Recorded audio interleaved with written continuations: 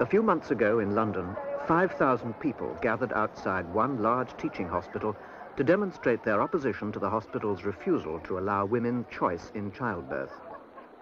In the past 15 years, Britain has seen its maternity services increasingly centralized in large hospitals, the experience of pregnancy overwhelmed by technology, and the experience of childbirth subverted in the name of safety.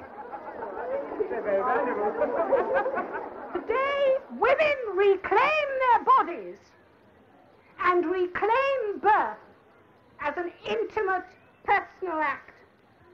Birth as mystery and wonder.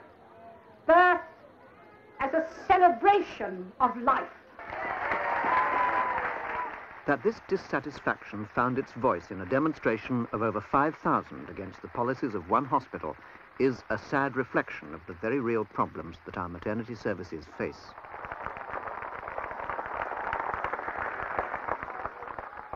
For many mothers, the sense of alienation starts here, at the antenatal clinic.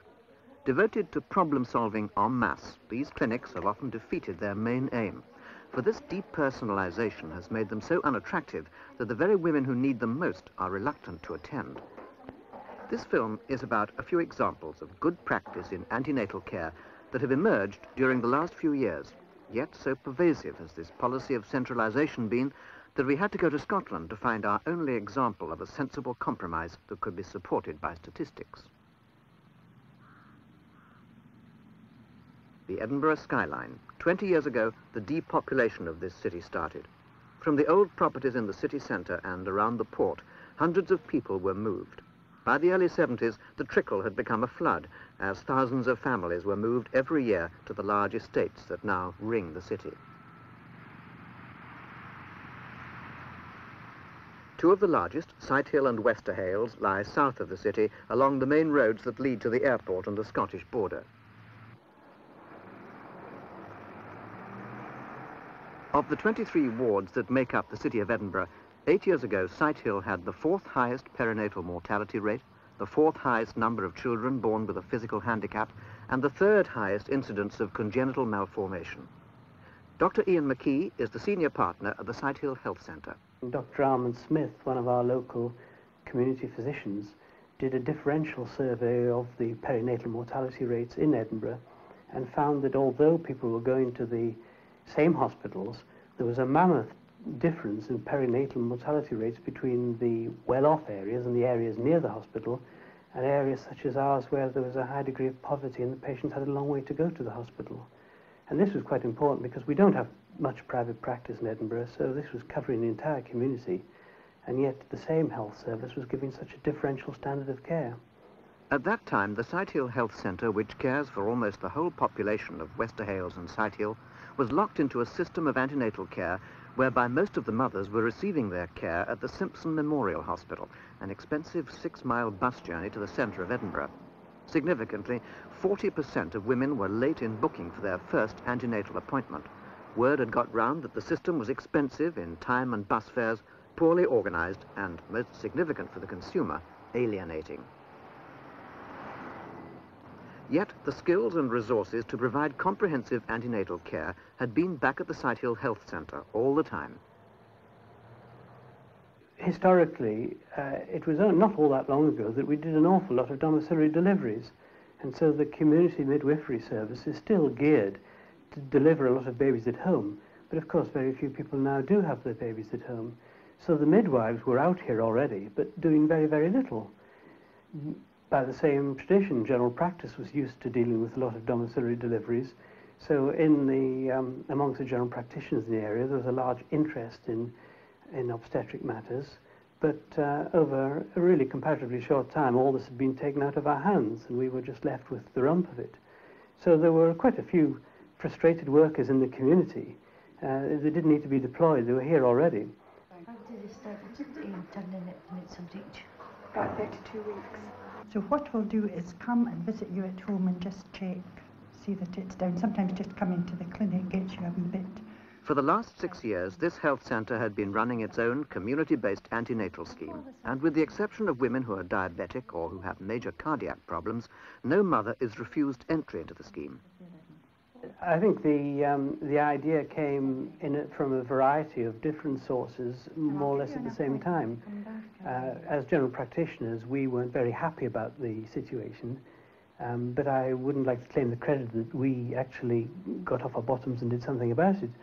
Uh, at the same time that this situation existed out here at, at Sighthill, uh, the some consultants were a bit unhappy because they could see from their side that the service that was so much money was being spent on wasn't actually coming out with the goods in the end. Um, are you on any, any medication at the moment? Any medicines? No. Nothing. Good. Are you a smoker? Stopped on the 1st of August. You started on the first of August. And on the 11th day, we, the health visitor takes over and we come in and then we look after the baby from there until it's time to For GPs, health visitors and midwives used to an almost totally hospital-orientated maternity service, the changeover was difficult. There's an awful lot of mm, problems at the beginning because we just weren't used to taking that sort of responsibility. Nice head just here. You can't spend years and years of seeing normal people uh, and being conditioned to referring them on to someone else at the slightest abnormality. You can't get used to that sort of situation and then um, find that all of a sudden you've got to take a responsibility making a decision for yourself. And it took us um, a good few months before we developed enough confidence in ourselves again to take over more and more of, of the clinic. And I think it's necessary, if you're starting up this sort of venture, to have a consultant who's quite prepared to mother you through the initial phases until you've redeveloped the confidence in your own ability to make decisions. But it comes back. The ability and confidence to take decisions was seen by the senior consultant at the Simpson Maternity Hospital as being crucial in the handing back of responsibility to the community medical services. For every member of the team to feel confident enough to take responsibility, a framework or protocol for investigation and management needed to be devised. That's grand, Miss Monkey, to do this hat. Something of here. The basis of the protocol at Sighthill is this card. At the first interview at the antenatal clinic, each mother is formally assessed by noting features of the pregnancy against a checklist of risk factors and evaluating their significance. From these factors, a planned program of management automatically follows.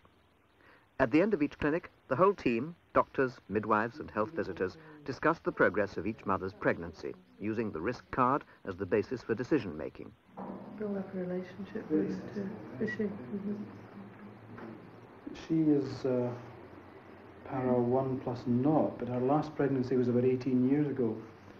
Um, so this one came as a bit of a surprise. In fact, it was, it was the last thing she thought that was wrong with her when she came in with morning sickness and tender breasts. She's 37 in December, so she's candidate for, for you know problems of, of age. Um, there are two factors there, in fact, her age, that she's 37, 38. So we may run into problems with blood pressure with her. She's also had two D&Cs, I think in 1967 and 73, again, which may affect the uh, cervical competence. So she would come under the protocol for, for cervical assessment. Um, there's a family history of diabetes. I think if her grandfather had maturity onset diabetes. If we have a protocol, which is just another way of saying we've all agreed what to do in a certain circumstance, it means that when that circumstance arises, even the lowest member of the team, such as the general practitioner, can uh, then take a decision with the full knowledge that the protocol is backing him or her up. But actually, by her own date, she's at 38 weeks. But they've taken the scan date, put the mini visor on. Um, BPD came in at 9.2 centimetres, which is turning in with 36 weeks. I took blood for oestriols and HPL because her last one that she'd had last week tended to be a bit on the low. The impact of these factors on the standard of obstetric care at Sighthill has been impressive, and it's possible to make a before and after comparison as the scheme has now been in operation for six years, and to study objectively the results from a thousand births within the scheme, comparing them with the equivalent number that took place from the same area, but whose mothers received their care at a hospital. The difference is striking, so too compared with the rate for Scotland. In fact, the Sighthill scheme has one of the lowest perinatal mortality figures for anywhere in Britain, and these figures have been achieved in a predominantly working class population. More specifically, the scheme has shown a dramatic increase in early presentation and a decrease in the default rate. Mothers are happy with the scheme. The number of inductions has been halved.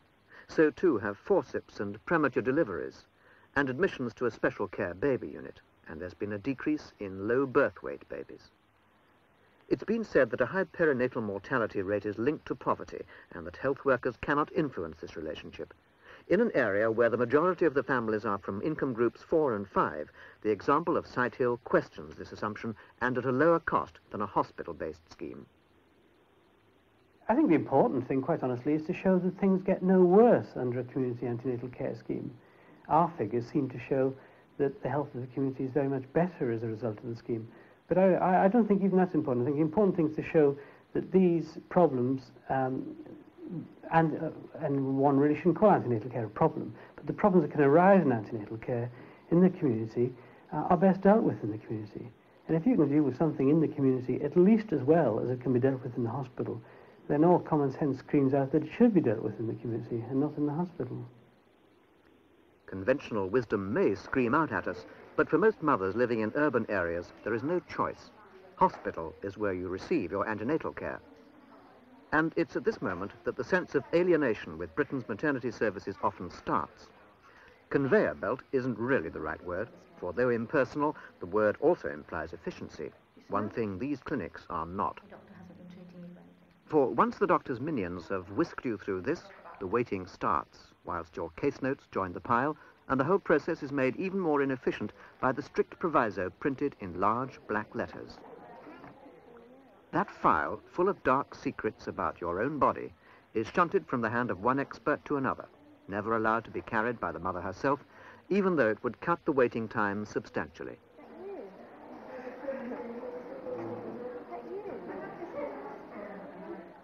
However, even in a large clinic, it doesn't have to be like that. This is the antenatal clinic at St George's Hospital, Tooting, South London. Large and busy, but for a start, the mothers at least carry their own case notes.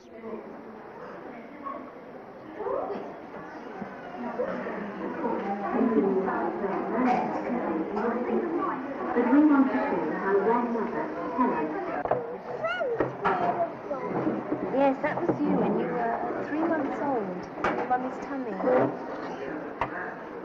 And there's the baby's head. And the body is here. And we're off to the side. So there's one, one baby.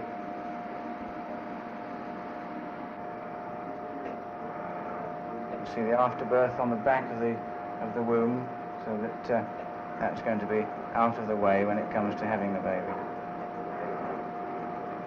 And then Georgina, it's you next.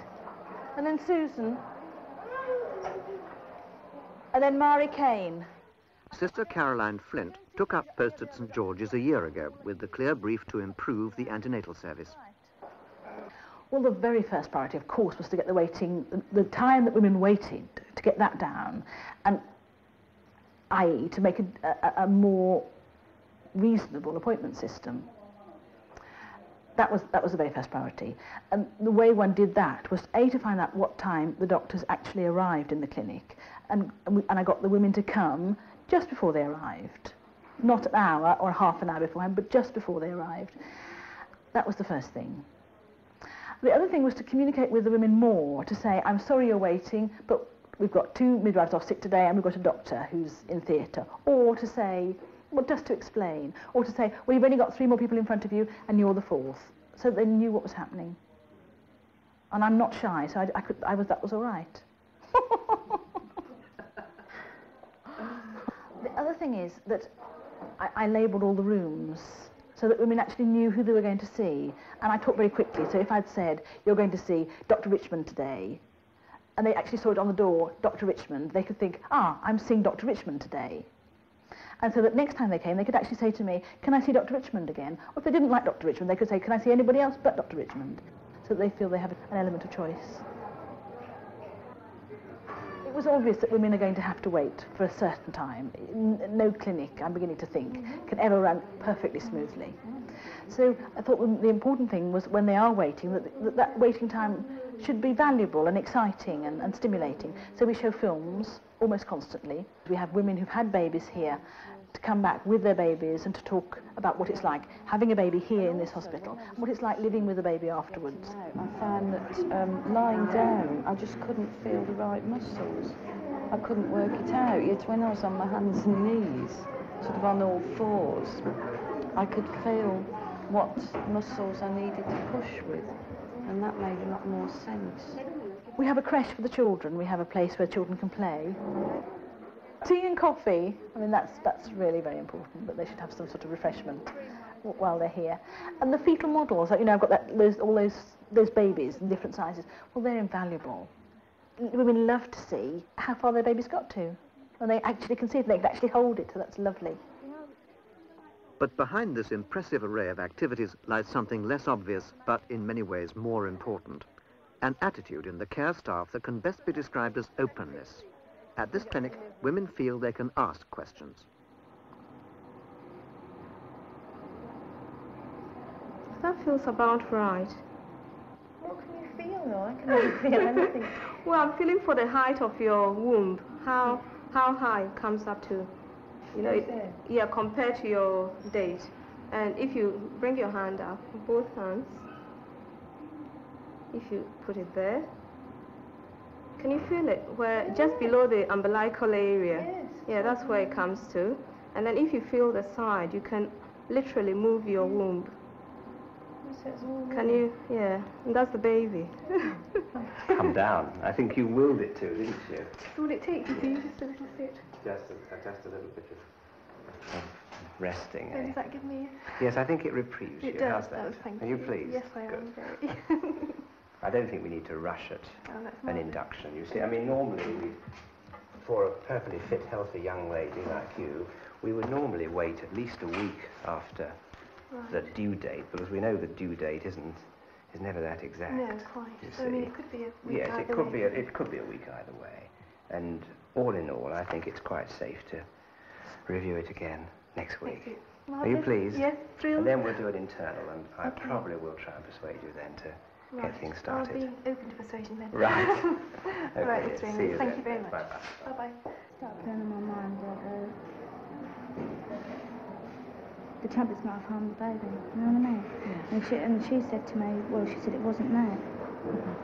But um, it's been playing on my mind ever since because I can't remember. But Diane, it will play like, it plays on everybody's mind until you've actually got the baby in your arms. You, you, it's, it's such a lot of women worry about it. Mm. But it's moving, isn't it? Yeah. Yeah, it moves. Remember we heard the baby's heartbeat? Yeah. Beautiful. It's lovely. Yeah, it was yeah, lovely. yeah, yeah, yeah. I think I'm just letting everything get out of proportion. You? Well, I mean, you've got a lot on your plate, haven't you? Yes. Mm. Mm. No, it won't be long now. No, no. Won't be long, will it? Lovely to see you. Bye-bye. Lovely. It may seem strange to highlight these exchanges. One would suppose that they were the first priority of all care staff. Yet, the way most antenatal clinics are run in large hospitals makes genuine communication very difficult, and the lack of interest in them is the main complaint of the women who have to use them. Midwives, too, constantly complain about the role into which they have been forced, that of obstetric nurse, handmaiden to the all-powerful doctor. It's little wonder, then, that feeling themselves a beleaguered minority, they sometimes behave that way. A lot of midwives have lost a lot of confidence. There's no doubt about that. It so much depends upon how much support the midwife herself has got, how confident she is, the sort of experience she's had in the past, and the sort of experience that she has made herself have. You see, with, with all experiences, you can go through them and you can just exist through them, or you can go through them and you can learn every second of the time. So, in different situations, you can actually gain more experience from certain situations by, by your own attitude of mind. This sometimes happens in pregnancy. There's a, you, you, some people get high blood pressure. And I looked down at antenatal clinics and felt that this was a, a superb area where you could actually achieve something and you could really improve what was happening to women and, and how women were feeling about it and you could actually do a lot. Breakfast in bed every morning. Six o'clock or something, isn't it? I don't think it's half past six. Actually, it's, it's about 8 o'clock. so come, and- come and phone your husband in my office.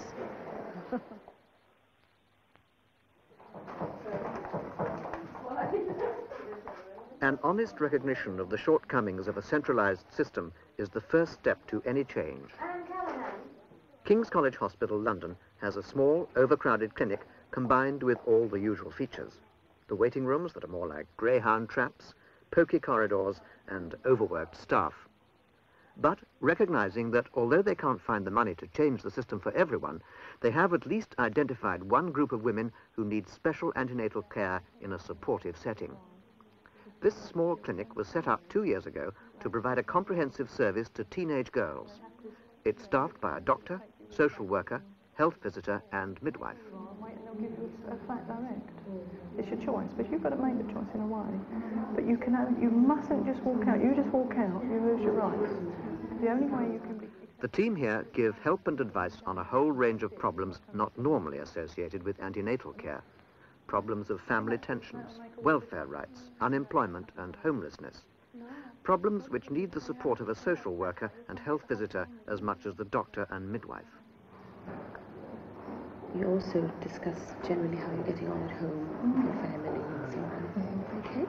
Now, uh, health visitors tend to work mainly from clinics, child health clinics. You find some are attached to GPs. Yeah, I'm just going to check out from here. Has the head gone down yet? I don't. I really don't know, tell you the truth. You don't know. Have you been feeling? Dr. Madeline Saunders has been running this clinic for the past 18 Well, months. have a feel on there and tell me what you think. The clinic started in early 1980. Basically, um, one of our ex-house officers, in fact, was working for the Department of Community Medicine, doing home visits on pregnant schoolgirls. And she found, talking to them and visiting them, that they really were missing out a lot as far as antenatal care was concerned, and they sort of fell through large gaps in the standard antenatal system, which I think is understandable. Tell me how many times, they- and they're moving now, hmm. all right? But head is just sitting there, okay? Let's just, are you all right lying flat? Yeah, You're not feeling dizzy? One aim of the clinic is to make hospital, per se, a positive experience, so that in the future, if they have problems, they might well turn to hospital or somewhere. They know that at least they can come back. Got it? Sounds like water slopping. It's of the horse's and more of the slopping. There's no way that, you know, we could take the attitude which many people do, and it's been said to me, these girls cannot have their babies. You have got to take all their babies away. They've all got to have adoptions. You can't do that. And they don't get pregnant to get money. I mean, many, many people say to me, oh, of course, she's only got pregnant to get a council house or to get benefits. It's rubbish. Um, and certainly some have had very poor home backgrounds, no upbringing themselves. And I mean, some of them just see that they actually want something to love them and they think the baby's going to do it. Now, however wrong that is, you can't dissuade them of that. And we just feel that we want to try and get them to see these things in themselves and in their pregnancy so that if we can I mean, Sheila Kitzinger's always saying, you know, the woman should be in the driving seat. These girls don't drive their bodies non-pregnant, let alone with a pregnancy on board. So we just want to try and, you know, get them to grips with themselves and their situation and try and make some sort of positive planning.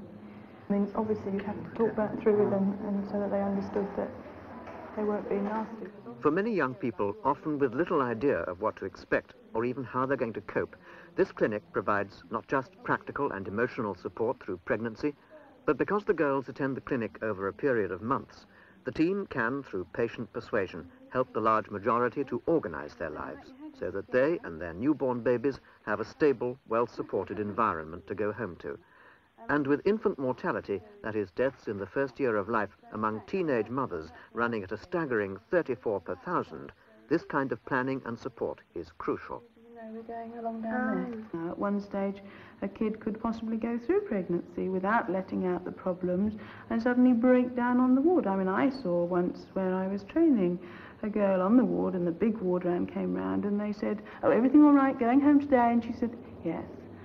And in fact, I had talked to her as a student and I said to this consultant, look, you got the answer you asked for. That girl has nowhere to go. She has got no home and you have not given her any chance to tell you. There was a very interesting set, series of articles in Nursing Times which talked about communications in nursing and showed actually how we frequently stop women talking by saying something like, you're looking very well, and not actually giving them an opportunity to say, actually, I feel terrible. Because they're worried about your blood pressure. And are you swollen at all? It may seem strange to end this film with an obvious comment, but it's often the obvious comment that is the least palatable. The simple fact is that the one overriding feature that is common to the three examples shown is the attitude of the care staff. A quiet confidence, approachability, and openness that women immediately recognize. And the benefits are obvious, as the statistics from Sighthill demonstrated. For if women find coming to an antenatal clinic a positive experience, a number of crucial factors will follow. Early presentation, effective screening, maximum cooperation, lower risk, and, to put it simply, happier mothers and healthier babies. But I think that should be okay. Now, baby kicking?